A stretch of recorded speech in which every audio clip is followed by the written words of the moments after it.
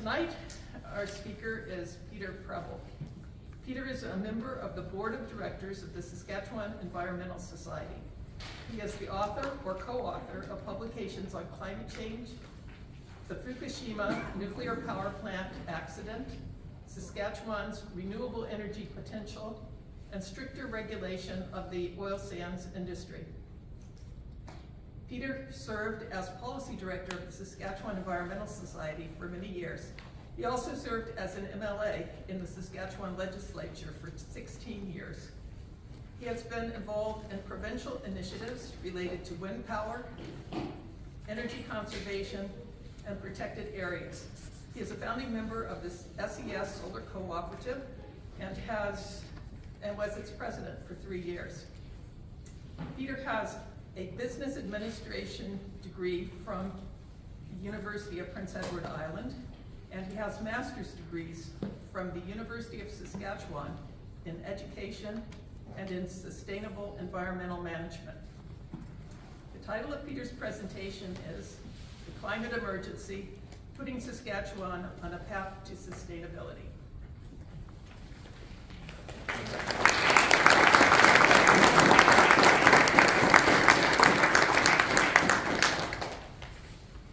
Everyone, thanks so much for coming out on a blustery evening.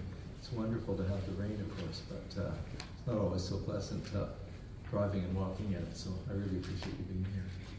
I, um,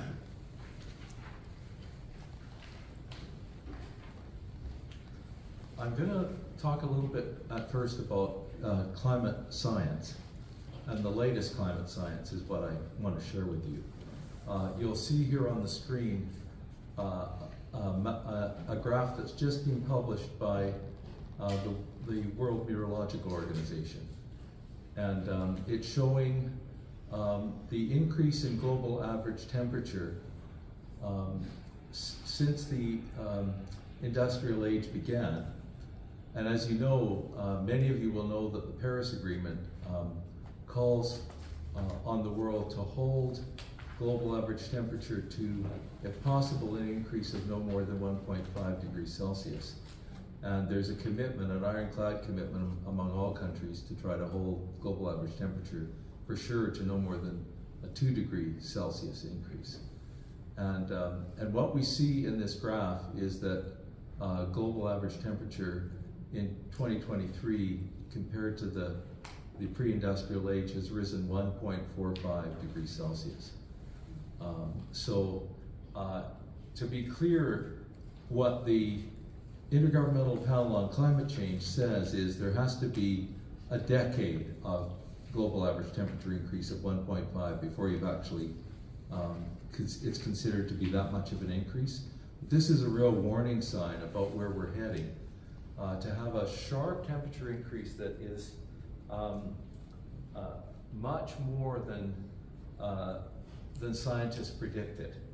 You know, scientists are quite alarmed at what's gone on this year. And uh, there's a, a, real shift in, in opinion. And there's also a, a, div a, division in opinion about whether climate change is accelerating or whether this is just what we should have expected. Uh, and of course, El Nino has made a difference in terms of driving temperature up, as it always does. But what you see on a graph over many years is that the La Nina events are getting hotter and hotter, neutral is getting hotter and hotter, and the, um, uh, the El Nino events are getting hotter and hotter. And now, of course, we've just had an, an El Nino year predominantly. Uh, and this next, uh, this next graph shows you, uh, this is the, the 1.5 Celsius temperature increase, and this shows you the number of days in the year that went over 1.5. So you can, you can see on this uh, particular uh, graph that there were all kinds of days that were 1.7, 1.8, 1.9 degrees um, uh, above what you would normally expect at this particular time of year. So it's a, another warning sign for us. And of course, this is predominantly being driven by an increase in, uh, in three greenhouse gases, and many of you will be familiar with these, but uh, carbon dioxide is the biggest influence.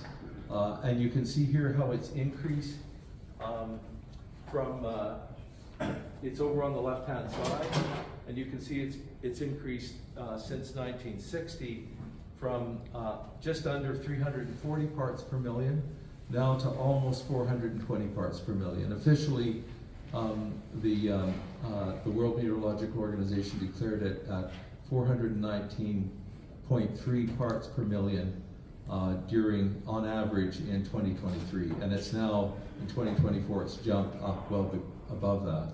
So it's increasing at about two and a half parts per million per year.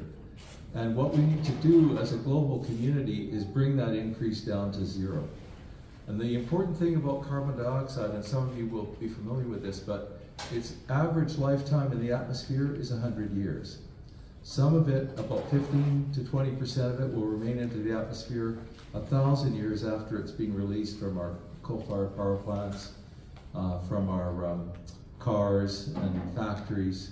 Uh, and some of it, of course, will be taken up uh, much, much more quickly within a period of 25 or 30 years by the oceans, by vegetation. But about half of it is not taken up uh, in that way, and it lingers in the atmosphere for very, very long periods of time. And of course, that's what's driving uh, um, uh, climate change. Uh, similarly, uh, you see a, an increase in nitrous oxide. This is in parts per, bil per billion rather than parts per million. But uh, again, the rise is steady. Every year it keeps increasing, uh, partly as a result of, uh, of our use of nitrogen fertilizers, partly from things like coal-fired power plants also emitting nitrous oxide. Um, here's the increase for methane, and I'll spend some time talking about methane tonight because um, methane was leveling out for a little while, as you can see on the graph, and now it's it's jumped again uh, significantly. Um, and um, and methane is the, is a gas that, like unlike carbon dioxide with such a long average lifetime in the atmosphere, nitrous oxide with a fixed time in the atmosphere of about 112 to 114 years. Methane is only in the atmosphere for 10, 12, 13 years. And, uh, and because it's got a shorter atmospheric lifetime, if we can drive it down in a significant way, we can put a dent in the, in the climate emergency.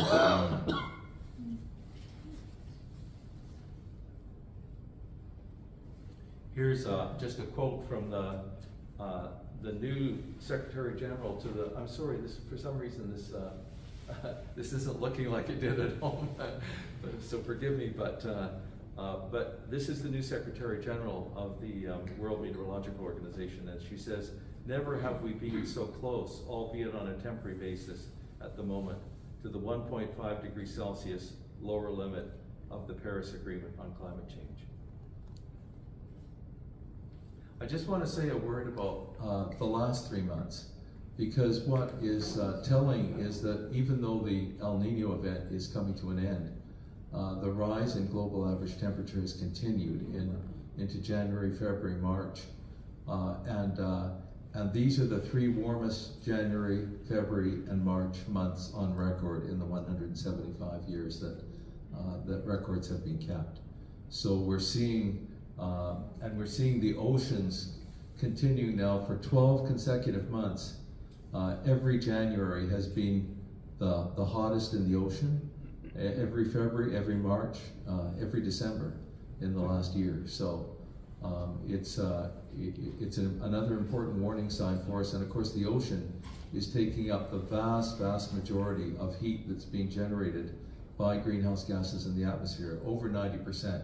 Actually, scientists are estimating that 93% of the heat uh, that's being generated by greenhouse gases is remaining in the ocean. So, of course, it will be also released by the ocean at times. And I, I included this chart because I wanted you to see where the parts of the world that were record hot um, uh, this year. And so all the dark red is the parts of the world that were record hot. Including the Northwest Territories, and you saw this kind of a temperature way up north uh, at Fort Good Hope um, on, on, uh, on July uh, 8th of 2023. Um, these are kind of unprecedented temperatures that the Northwest Territories and Northern Canada were experiencing. And um, I think one of the, you know, one of the biggest impacts, of course, from uh, climate change is the increase in extreme weather events. And what you may not know is that they've increased fivefold over the last 50 years. So this is a, a really clear signal to the world that, um, that, that the climate is breaking down. And, um, and of course, there are so many uh, consequences for human civilization as a result of, of this increase in severe weather events. Um, uh, one of them, of course, is that um, uh, one of the forms of extreme weather that doesn't get nearly enough attention, uh, particularly in our part of the world where we don't experience a lot of extreme heat, um, is, uh, is the loss of life from extreme heat. And it's not well recorded around the world. Uh, the World Health Organization estimates that uh, the, the, although we have official numbers at almost um, 500,000 people in the course of a year, that the real toll is about 30 times that. Uh, you know, so many countries don't track uh, death from uh, uh, extreme heat. Um, and, um, but we, we do a better job of that in the industrialized world. They do a good job of that in Europe. For instance, in 2022, um, the 35 European countries experienced 60,000 people died from extreme heat in Europe. Uh, whereas, uh, you know, in, in places that the heat is much more extreme, um, good statistics are not kept. And here you see um, one of the, the, the, important changes that is happening. Uh, heat waves are lasting longer, on average about four days longer. Uh, I'm talking globally now, not, not in, in Canada. And, uh, and they're traveling more slowly and uh, and and so um, they're, they're, people are experiencing them for longer periods of time, and that's having a real impact in, uh, in in many parts of the world where heat is becoming a huge problem. Heat waves are traveling uh, about eight kilometers per day more slowly um, uh, in each decade uh, for the past 40 years. And, uh, and in Phoenix, Arizona in 2023, they had 31 consecutive days where the temperature was over 110 degrees uh, Fahrenheit, and they peaked at uh, what for us would be in Celsius a, a little over 44 degrees Celsius. So th these are hot days, and for anybody who doesn't have air conditioning, for anybody who's homeless, uh, these are very, very dangerous uh, days to experience. Of course, what we're experiencing in Saskatchewan, one of our impacts is, is drought. Uh, the, the U.S. Midwest has been experiencing drought for the last couple of decades. We're starting, as, as, as the influence moves further north, we're starting to experience this more too. Uh, you can see that over the last three years, the Crop Insurance Corporation has paid out $6 billion to uh, agriculture producers as a result of, uh, of crop damage. And a lot of this, of course, is, uh, is the vast majority is associated with the droughts that we've been experiencing. And here's the, uh, the most recent Canadian drought monitor. Uh, we're all familiar with the fact that we've been facing drought here uh, and west of Saskatoon, it quickly gets a lot more serious.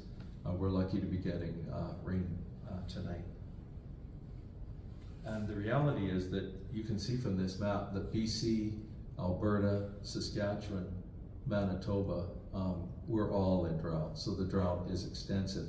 And one of the hallmarks of um, climate change when it comes to drought is if the drought is being experienced over a very wide geographical area.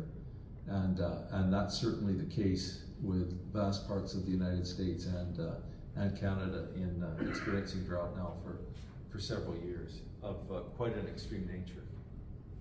Uh, we all know about the forest fires that, um, that we've been experiencing in Saskatchewan recently. Um, we lost 1.9 million hectares to, uh, to forest fires uh, last year in this province. Nationwide, um, the figure was uh, 18 and a half um, million hectares. And there's the change nationally that you can see. Uh, it's, it's an enormous change in 2023, uh, with Canada experiencing a, a, forest fire season like no other, with uh, about 230,000 Canadians having to be evacuated, uh, with some Aboriginal communities um, experiencing evacuation twice in the course of a, of a summer. It was a, a very, very difficult summer, and with an enormous loss of biomass. And here you see the, the carbon emissions associated with the wildfires in Canada um, in 2023 compared with all the previous years. So there was so much carbon dioxide going up into the atmosphere in 2023 that it starts to approach Canada's national emissions. That's how alarming it is. And, um, uh, and again, uh, being driven by higher greenhouse gas emissions in the atmosphere. We lost an area five times the size of Prince Albert National Park. Uh, and, and the fires weren't just limited to, um, uh, to uh, you know, the northern, northern hemisphere. Uh, the southern hemisphere now over the winter has been experiencing very difficult forest fire seasons as well. This is Chile. This picture um, uh, just captures the fact that 13 1,300 people lost their homes. 1,300 homes were lost, so 1,300 families lost their homes uh, as a result of forest fires in Chile uh, in, uh, in February of 2024. UNICEF, one of the big impacts, of course, of extreme weather is, is human displacement. And uh, it's probably, in my mind, it's the worst impact. And UNICEF has done, has just prepared a report on the number of children who have been displaced over the last six years. And, um, and as you can see there, they're, they're putting that at, um, at 43 million children, which works out to about 20,000 children a day worldwide. So this is an enormous impact from climate change. And you know, when you think about the fact that we're about 1 700th of global emissions in this province, we should think about the fact that we're also responsible for one seven hundred of this child displacement. And, um, uh, and that ends up being a pretty substantial figure. So it's just, uh, this is a controversial statement that I'm making that not everybody will agree with, that we should somehow take responsibility for events in other parts of the world. But the big impact of our greenhouse gas emissions is not on Saskatchewan residents the big impact of our greenhouse gas emissions is on the global community. And so every country that's responsible for large amounts of emissions, in my mind, should take some responsibility for the impact those emissions are having worldwide. And of course, another impact right across the world is an increase in uh, damage to property from extreme weather. Uh, the majority of damage is, is not insured but of course a portion of it is. And here you see the insured portion, in Canada. Um, and uh, this figure here, just to put it in context, for 2022 is $3.1 billion.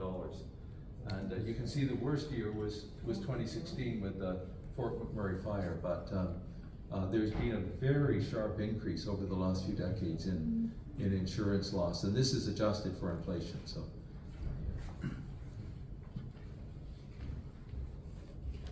Another impact that we're experiencing uh, that I worry about is the impact on our glaciers. And, uh, and the World Meteorological Organization just issued a report on glaciers saying that uh, it, we had an enormous loss of glacier melt in, uh, in the, the North American Rockies, both in the United States and in, and in Canada. Um, and uh, the, the actual loss over the last three years in terms of ice volume was 9%, which is a stunning loss to our glaciers in a three-year period. Now that's an average for North America. They didn't issue a Canadian number, which I was looking for, but unfortunately I couldn't find the data. So that includes the United States as well as, as well as Canada. And this is a picture of the Peyto Glacier. Um, and um, and the, it's just a small glacier, but it's one of the reference glaciers in the Canadian Rockies that is monitored every year and it, and it goes into the global records. And, uh, and you can see that there's been uh, very significant loss on that uh, on that glacier uh, in recent years. It, it feeds the, um, uh, the, the North Saskatchewan River, and over the last 50 years, it's lost about 70% of its volume in terms of ice. Of course, the ice loss isn't limited to the glaciers, it's also being experienced in Antarctica, it's being experienced in the Arctic, uh, it's being experienced on Greenland. And, uh, and here you sort of see, a, you know, the change that's happening on Greenland with, you know, parts of Greenland losing their ice and kind of turning into, and, and starting to actually in some spots even grow shrubs. Uh, but about 200 billion tons of ice a year is being lost on Greenland. And to put that in perspective again in terms of Saskatchewan's greenhouse gas emission contribution to that ice loss, it's over 300 million tons a year, uh, just on Greenland alone. And um, I was mentioning that sea surface um, temperatures are record high. Here you sort of see how that red line over in the left-hand corner is uh, January, February, March of uh, 2023. So those months are, uh, are record high. And of course, one of the consequences of all that is that uh, is sea level rise, and sea level rise is accelerating. And here are the exact numbers. Um, you see, uh, from 1993 to 2002, sea level rose uh, 2.14 millimeters a year, whereas by uh, 2013 to 2022, it rose at 4.72 millimeters a year. So you can see that sea level rise is accelerating uh, in every decade. And, um, uh, and again, is happening, I think, a little more rapidly than scientists uh, predicted. One of the big impacts of a warmer ocean is the impact on coral reefs. And, um, and coral reefs are very vulnerable to uh, ocean temperature rise. Um, the, um, the international scientific community predicts that coral reefs will virtually be wiped out globally if global average temperature hits 2 degrees Celsius. But right now, um, uh, over the last few months, there's been massive coral reef bleaching all over the world. The Great Barrier Reef gets, uh, some news media attention, but this is happening globally. Uh, there's, there's, uh, uh, there's hundreds of thousands of reefs that are, that are dying as a result of the, uh, the ocean temperatures that we've just been experiencing in the last two or three months. Here you see just a slide that shows coral bleaching, uh, which happens, uh, sometimes the reefs recover after they bleach, but uh, often uh, if the bleaching is extensive for two or three weeks, uh, a lot of them die. And here's just the, uh, the IPCC um, picture that shows an expected 99% of coral reefs will be lost at, at a, a temperature increase of two degrees Celsius globally. And this, uh, this slide just makes the point that, that climate change impacts are, are not being experienced equally in the world. Um, we're, we're, living in a part of the world where uh, we're experiencing a lot less impacts than, than many other parts of the world. And it's not that we're not experiencing impacts, obviously we are. But, um, but Africa is experiencing the worst impacts of all. And, uh, and it's expected that in terms of loss of life, uh, about 50% of it will take place in, in Africa in, in the coming decades uh, as a result of, of, elevated greenhouse gas emissions in the atmosphere. So the, the dark red area is the, uh, are the areas that are going to be impacted the worst. And um, of course, the, the, what's required to prevent catastrophic climate change is to keep global average temperature ideally below uh, a 1.5 degree Celsius temperature increase, and most certainly to keep it below a 2 degree Celsius temperature increase. But at this point, every one tenth of an increase in global average temperature matters a lot in terms of what happens uh, from now on. And what this chart makes the point of is that if you want to keep global average temperature to 1.5, you've got to bring emissions dramatically down from where they are right now, and very, very rapidly. If you want to hold it to one point seven. You need to achieve net zero emissions by twenty fifty. You can wait a little bit longer if you wanna hold it to two degrees Celsius, but, um, but not that long. And every one of these, um, lines downwards means deep cuts in greenhouse gas emissions rapidly. And this is something that, uh, our, our government in Saskatchewan is definitely not contemplating or considering.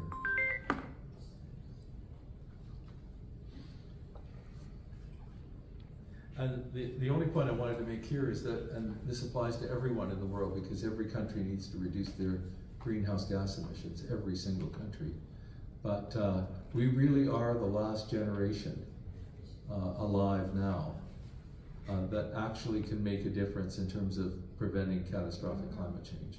We are the last generation because the next generation, if we don't bring emissions down in the way that um, uh, the previous slide suggested, uh, you know, the, the, the next generation will just be experiencing these events. And it won't mean that it doesn't make a big difference to still bring emissions down to zero.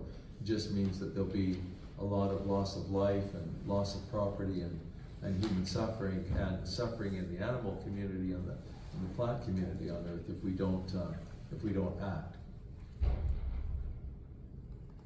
And this final slide about the climate change update is just comparing um, the European experience with our experience here in Saskatchewan. You know, to the credit of the European Union, and there's Greta Thunberg and, and tens of thousands of others that have done a wonderful job of underlining the inadequacy of European climate policy. But nevertheless, the Europeans have achieved collectively a reduction in greenhouse gas emissions of about 30% below what they were in 1990. And they're, and they're targeting a 55% reduction by 2030. And you just compare that with the Saskatchewan numbers, which are not just the responsibility of the current, current government, but also responsibility of the government that I was part of. So these are, but, um, uh, but in 1990, uh, greenhouse gas emissions in Saskatchewan were 42 million 500,000 tons. And today they're 67 million 100,000 tons. So we're way above 1990 levels while the Europeans are substantially below. So you can see this huge difference in policy implementation on the two continents. It's an enormous difference in terms of how seriously climate change is being taken. Um, so here are some of my suggestions about what we could do. Um, first of all, uh, in Saskatchewan specifically, and uh, I want to emphasize that not all of these are Saskatchewan Environmental Society policy. In fact, quite a few of them aren't. Uh, but I think it's important to talk about them. Um, and, uh, and one of the things you have to do in government is, is actually, you know, create some institutional change. You have to hire new people who are going to care about climate change in all the relevant departments. It takes a few months to get that done. And you have to kind of set up structures that are going to help move you forward. Um, and um, I'm suggesting we create a climate council like the, like the United Kingdom has. Uh, and, um, and that in specifically in Saskatchewan to uh, advise government on climate policy, but all that advice would be public. It's not private advice like a public servant would give. And, uh, and to hold uh, the provincial government accountable to the implementation of a climate change plan. And that there would be a just transition committee within that climate council that would pay attention to, you know, making sure, for instance, that when employees are being negatively impacted by climate policy, that that they're um, that they're looked after, uh, and that's going to be associated with something like the phasing out of coal-fired power stations in the province. Um, uh, just one one of many examples, and that we would. Um, and that we would reestablish Saskatchewan's Office of Energy Conservation, uh, which Premier Calvert and I were involved in setting up in 2002, and by the way, which was immediately abolished by the current government within a month of coming to office with all the staff laid off. Um, uh, I think uh, virtually all of us in this room would like to see the carbon tax um, remain in place as a public policy. Uh, the, uh, the new um, rebates just took effect in the last few days. People will be getting their checks. A family of four will get a, a rebate check for three hundred and ninety-six dollars. Um, and, um, uh, but it's a, it's a policy that requires political courage to implement. I have to say that the current federal government deserves, in my mind, in my books, credit for doing that. And uh, pretty well every other political party in the House of Commons is, with the exception of the Greens, is abandoning them at this point in terms of uh, support for uh, uh, the carbon tax. Um, and then, you know, reversing policies that are um, uh, that are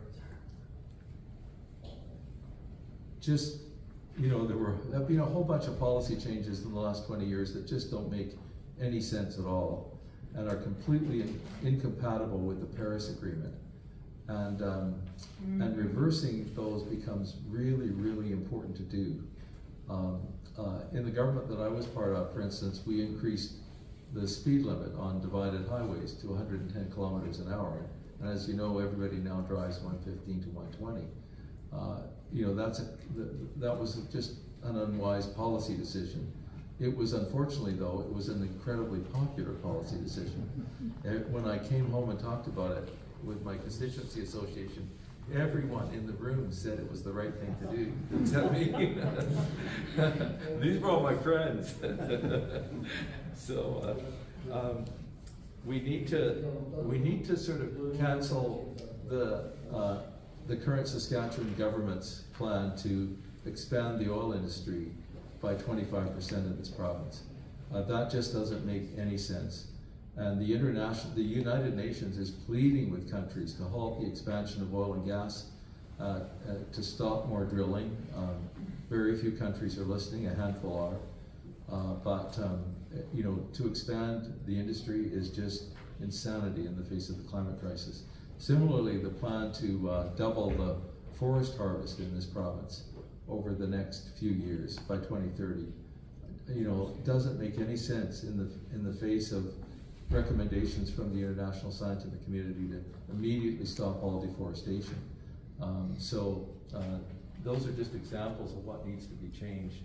Um, repealing the Saskatchewan First Act, which is a piece of legislation that passed in the last year, and its its primary purpose is to serve as an obstacle to um, federal climate policy being implemented in the province of Saskatchewan.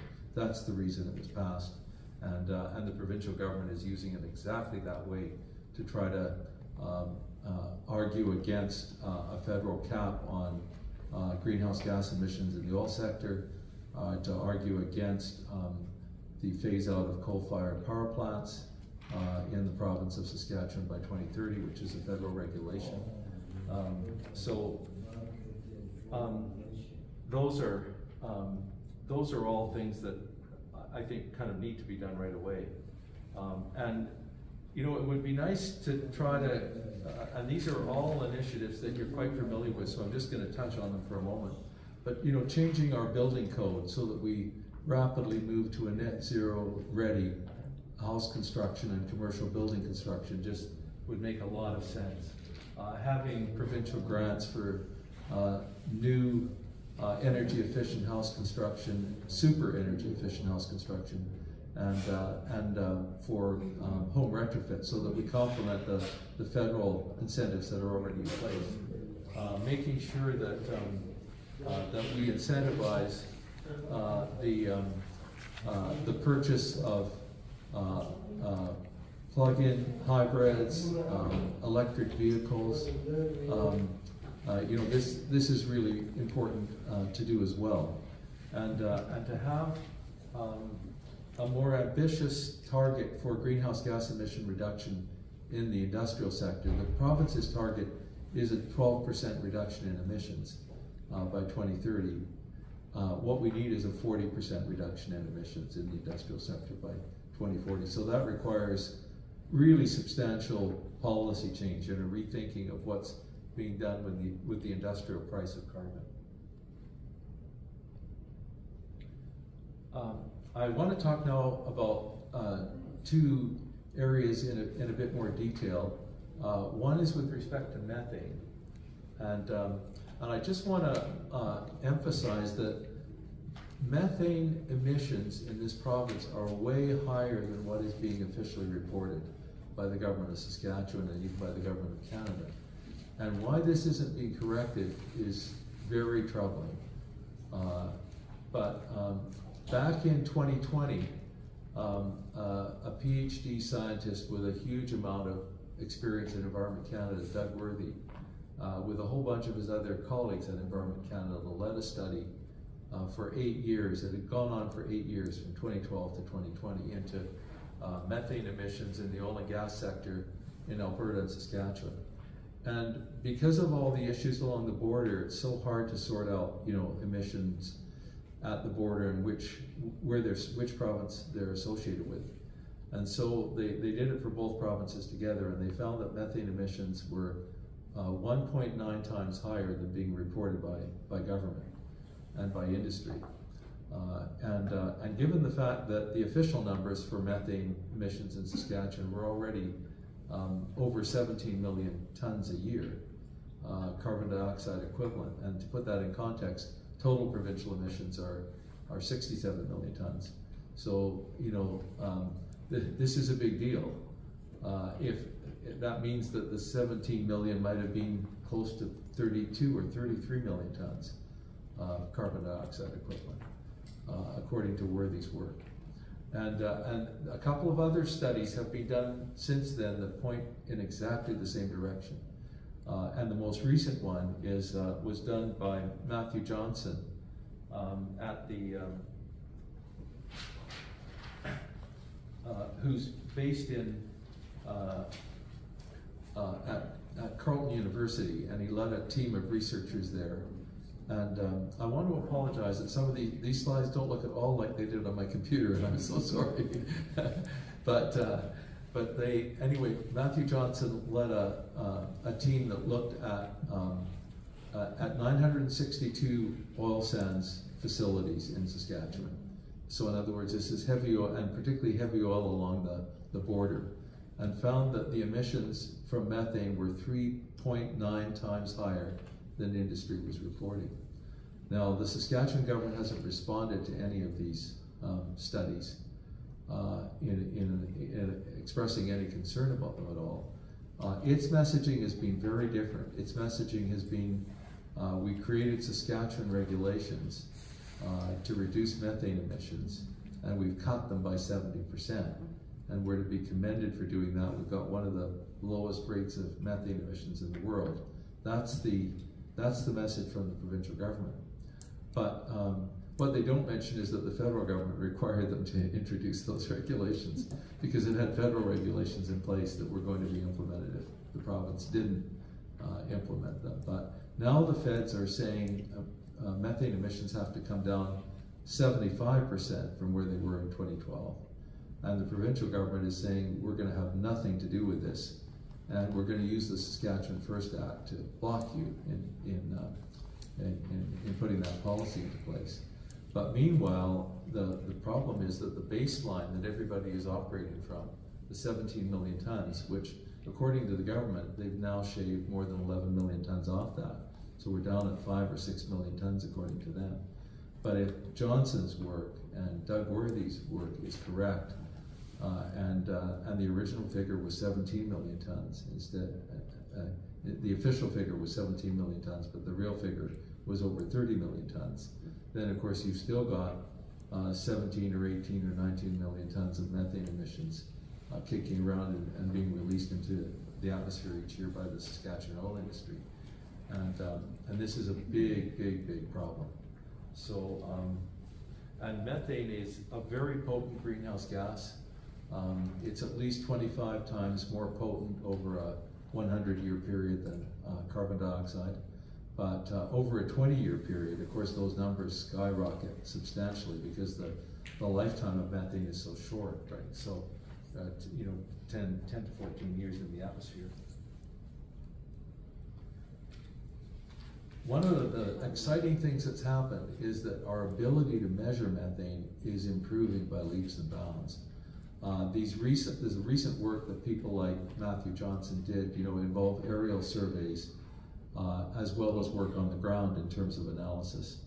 And, um, and now we've got the capacity to measure me uh, methane emissions into the atmosphere via satellites.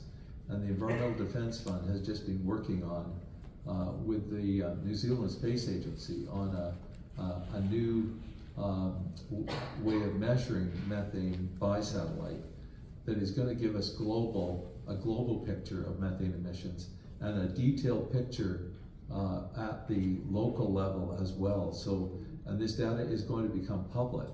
So we'll have the ability to actually look at what's happening in Saskatchewan. Uh, and it'll be really exciting, and it'll be a way of applying significant pressure on the provincial government.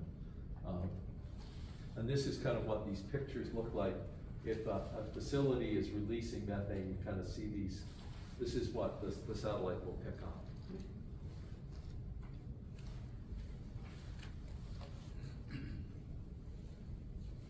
So in terms of where we should, what we should target, um, I'm suggesting that the, um, that we should target by 2030 to bring methane emissions in this province down to just over 4 million tons per year.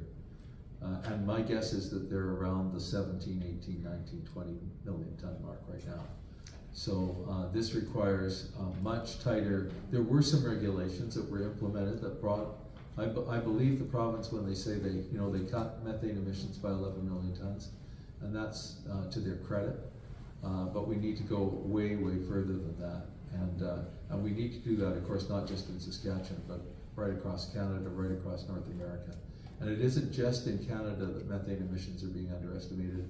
The studies that are being done in the United States are pointing to a similar picture. You know, the industry hasn't either hasn't been honest about uh, what they knew about methane emissions or, or hasn't, or simply didn't have the equipment to, properly uh, uh, measure them. And, and now, and this is the last kind of major piece of my presentation, and, and actually the piece that I've struggled with the most, but I want to talk about the electricity sector. And the reason I've struggled with this is that for years the Saskatchewan Environmental Society has said, you know, very accurately, and I've been part of saying this, that, and, and so has Bob Halliday, and, and so has all our uh, board members, Ben Wright, uh, and Coxworth. We, you know, we've all been saying we can import significant amounts of hydro from Manitoba, uh, a thousand megawatts, hopefully. We can use those hydro imports to phase out our coal-fired power plants. Uh, but in the last, you know, three years, the situation has slowly been changing in Manitoba. Uh, and and it, it's not that we're not importing some hydro, we are. We're actually going to end up importing about 290 megawatts of hydro. But, um, uh, but what's changing in Manitoba is that, you know, first of all, they've entered into all these export contracts with Minnesota, with Wisconsin. Now they're building new transmission capacity that's just being completed uh, with Minnesota for another, you know, 500 megawatts. Um, there, but the other thing that's happening is that they're experiencing drought. Their hydro supplies are becoming uh, less reliable. Manitoba Hydro's actually ended up losing money in a couple of years recently. And, um, and the other thing that's happening is that, of course, Manitoba, and especially under the new NDP government now, is thinking about electrifying more things, uh, and uh, including electric vehicles, of course. And, uh, and the government has announced that they're going to try to aim for a uh, net zero emissions province-wide by 2050. Uh, they haven't put the policies in place to kind of move in that direction very rapidly right now, but they've only been in office for a few months. So, um, but they're they're basically saying we think we're going to need more electricity for our own purposes. So I think we will, you know, um, Bob and I are actually going to make a trip to Manitoba next month, and uh, and we're going to try to get a better handle on, you know, what the ability is to work together. But one of the obvious ways in which we can work together is to build a lot more transmission capacity between our two provinces. It might not just be used for hydro. It might be used, for instance, to export wind, sell wind power back and forwards to one another, or to sell solar power back and forwards to one another. So having a thousand megawatts of a new transmission capacity between the two provinces would make a huge amount of sense. And, uh, and right now, I think we have a federal government that would be willing to maybe put some money into that as well. They certainly have the programs in place to potentially do that if they chose to. This graph shows um, where we're at in terms of greenhouse gas emissions, and the solid part of it shows what's happened in the last 20 years. And you can see that the reality is we've made very little progress at SaskPower in terms of emission reduction, despite all the promises and pledges about how we were gonna move, uh, you know, we're, we're maybe down four or five percent, uh, compared to where we were in two thousand five, so, uh, so, uh, sorry, compared to where we, yeah, we were in two thousand five, so the, the, um, there's a lot of work to do, and, uh, uh, and what you see with the dotted line is what SaskPower is hoping their projections will now be. But of course, um, it's uncertain about whether those projected actions are actually gonna be put in place or not. And, um, I just wanna give you a sense for the overall mix. You've, many of you will have seen this chart before. Bob had it in one of his very good presentations. But, um, uh, the coal capacity is about a quarter of the generating capacity. Uh, and natural gas is now up at forty percent. So as Bob often says, um, you know, SaskPower is becoming a natural gas uh, utility. Uh, solar's at two now, and wind is at eleven in terms of generating capacity. But I wanted to include this second graph because I think, from a greenhouse gas emission point of view, it's the most important. Because although coal is only at twenty-four percent generating capacity, it's supplying about thirty-two percent of our um, electricity needs.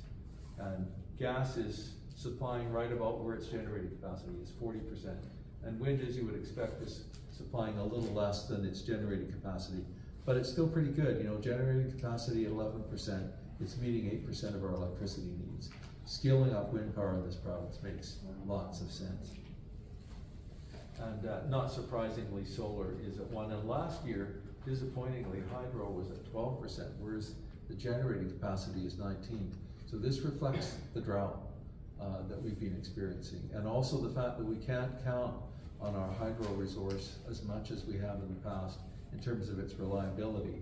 In a in a wet year, it'll be great, and in a drier year, um, it'll probably produce um, you know less less power, and there could be a fluctuation of as much as thirty percent.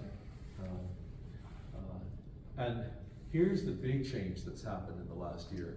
The announcement by Premier Scott Moe that he's not going to pay any attention to the federal government's regulations to phase out coal-fired power plants. He's going to run the power plants as long as he likes and for their lifetime potentially. And, uh, and to heck with the federal government, and if they don't like it, come and arrest him, sort of thing, is what he's basically, you know, he's very clearly said that. So, um, so there's a, essentially a policy in place now that I think SaskPower is struggling with because their stakeholder uh, public consultations still don't acknowledge the reality that the, policy of the cabinet is to not phase coal powered fired power out in this province. And uh, uh, I, um, uh, and obviously it's really urgent to do that. And you know, even I'm speaking for myself now. If I was in government, I could not achieve the phase out of coal by 2030 anymore because they've waited so long and done nothing for years and years and years. And you know, it takes about a decade to do this properly. And they, they got lots of notice. It's not like they didn't know back in 2017, 2018 that this needed to be done. Uh, but, um, but you know, no action has been taken and you can't build new transmission capacity overnight. You know, you're looking at eight years to get it in place. You're, uh, you, you know, to get to, uh, to scale up the sort of renewables that you would need and uh, an alternative baseline power, um, you know, all, it all takes time. So I, I've sort of moved the date to 2032, and even that is optimistic in terms of phasing out coal, but it desperately needs to be done uh, in a couple of terms of the government. Um, here's a couple of statements from the North American Renewable Integration Study that I think are important. It was done a couple of years ago, and it said um, resource adequacy can be maintained with high contributions of variable generation. In other words, lots of wind and solar and you can still maintain, uh, you know, a reliable grid.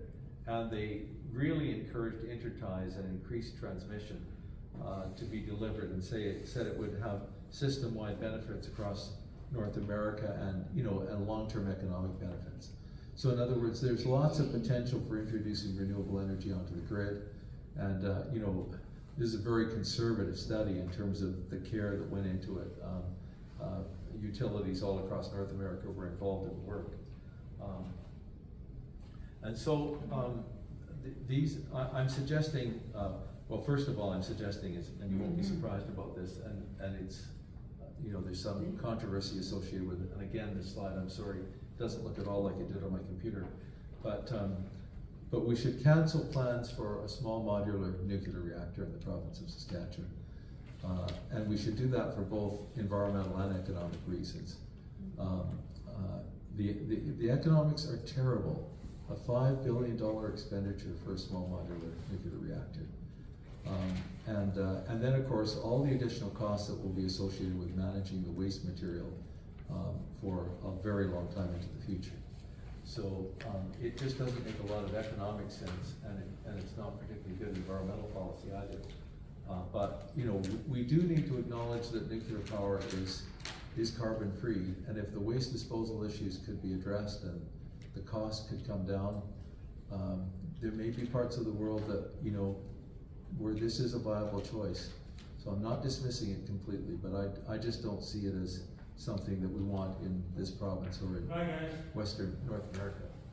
Um, and then uh, what I'm suggesting is that instead we invest that $5 billion in, in, uh, in wind power, in solar power, uh, in, in energy storage, in increased grid transmission connections between Manitoba and Saskatchewan, um, and, uh, and, it, and very importantly in energy efficiency initiatives. And that we work with Manitoba Hydro to, uh, to, essentially see if we can import as much hydro as we can from Manitoba. And of course we'll have to assess how much uh, hydro we can import, yeah, because I, I worry that it will be less than what we originally have suggested would be desirable. Um, and of course that makes phasing out coal more challenging because if we can't use hydro to replace it, it becomes more of a challenge. Um, and uh, I'm suggesting that we, you know, and Bob has suggested this too, and we've worked together in discussing it, of course.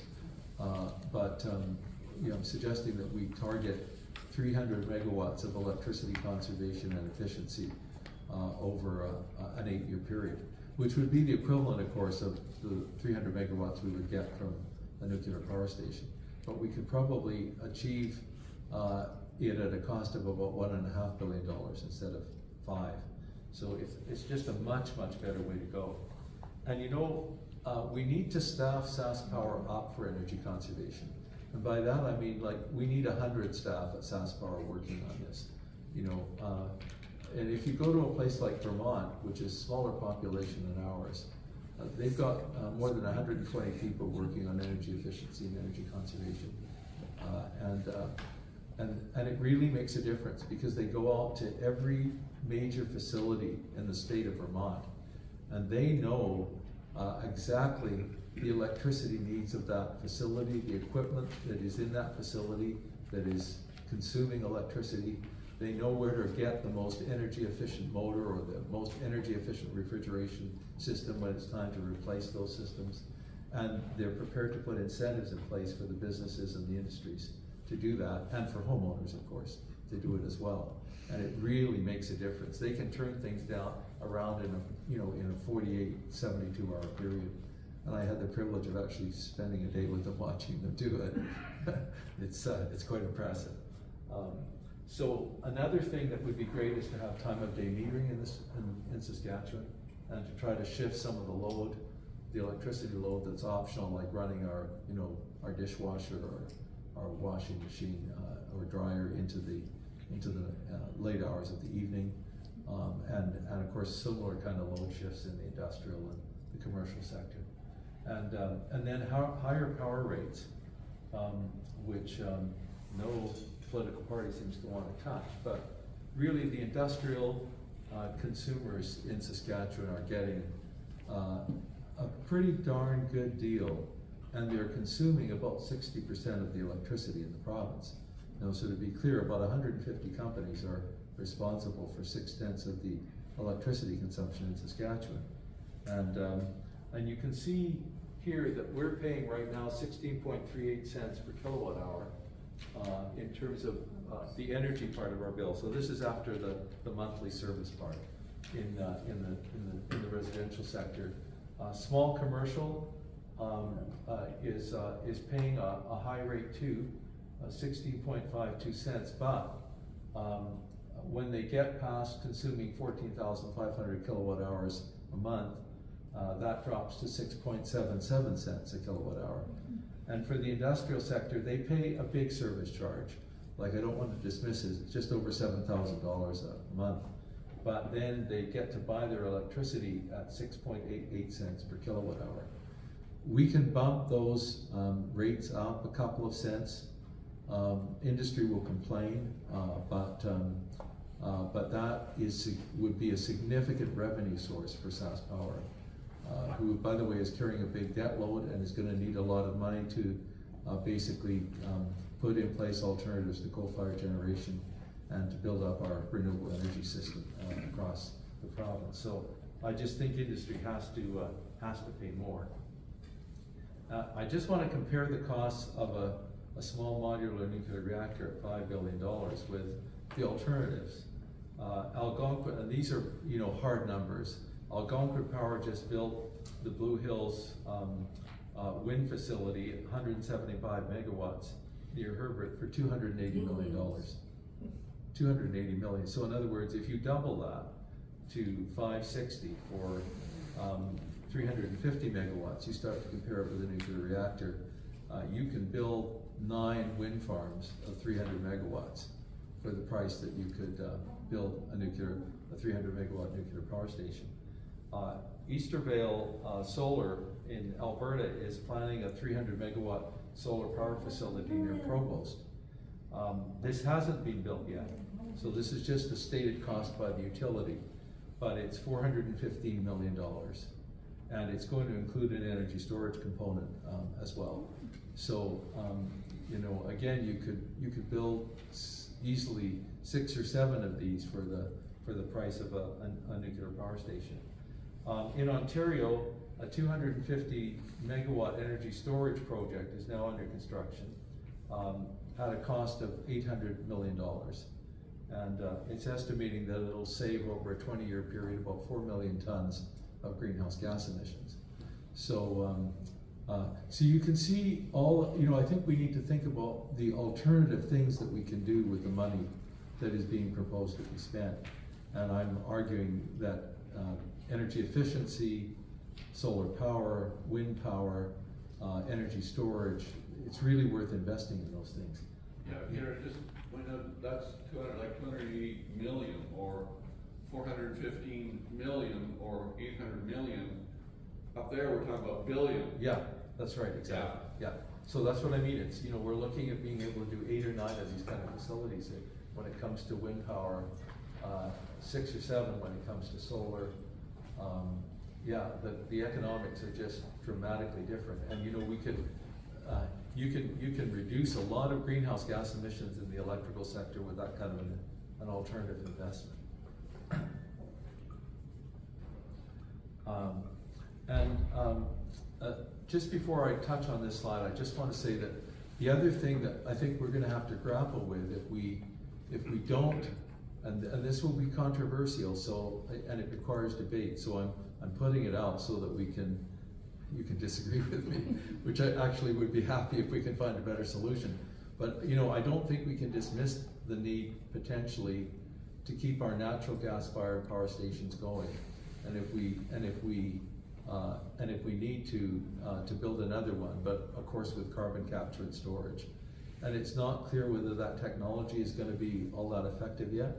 The other way to go would be, you know, to build a cogeneration facility at a new industrial site that's going up, like BHP Billiton's potash mine, and uh, and to um, uh, and to basically generate the electricity, obviously burning natural gas, but then you also use it for industrial uh, uh, heating purposes, which the potash mine in this case would need anyway, if you know what I'm saying. But these are not particularly desirable alternatives because both of them uh, clearly end up uh, continuing to expand the fossil fuel fleet in the province, which is not really what we want to be doing. Um, I just don't know myself, but other minds hopefully will figure this out about how we completely phase out the, uh, the 1300 megawatts of coal we have without having, um, uh, you know, something like this brought online. Um, the reality is we've been expanding natural gas a lot and we've barely phased out any coal. And that's what's so discouraging. And, uh, and of course, we're increasingly finding that natural gas is not a solution. I've just been talking about methane emissions. Uh, you know, there's, um, it, it, it, natural gas is, is not a solution at all. And, uh, and the less we need to um, bring online, uh, the better. But we will struggle if we can't bring in hydro from Manitoba, so i- i- especially in the short term. Uh, as energy storage improves, I think these the solutions are going to become easier. If we if compressed air storage really makes a difference, if we can bring on line successfully a lot of energy storage and use it with renewables, um, that will be wonderful. Maybe that will solve our problem. But I but you know if we're trying to figure out what we're going to do in the next eight years, um, that's not a very long period of time. And uh, struggling to phase out coal is, I think getting it phased out is, in this province is really, really important to do. And we need to do it in the lowest emission way we possibly can. The final slide is just about, um, and this is not really an area that SES uh, deals with, but I'm, I'm just gonna touch on it. Um, you know, the Nutrien has been making incredible profits over the last few years from the, uh, from higher um, potash prices. And when I say incredible, I mean in the billions of dollars of additional excess profit. And, um, and uh, of course, the oil industry has had, uh, you know, a couple of very good years now. I've just said here on the slide that um, Imperial Oil, Cenovus, Suncor, Canadian Natural Resources, they had a combined annual profit of over 25 um, billion dollars uh, in 2023.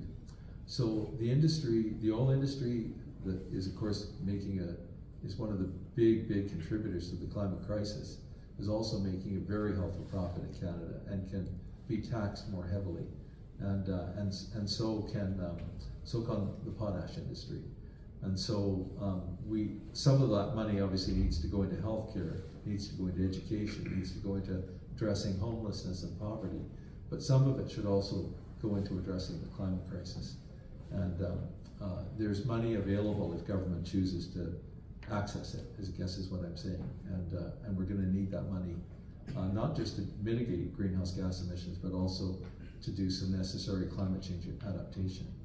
So I think I'll stop there and um, open it up for questions. And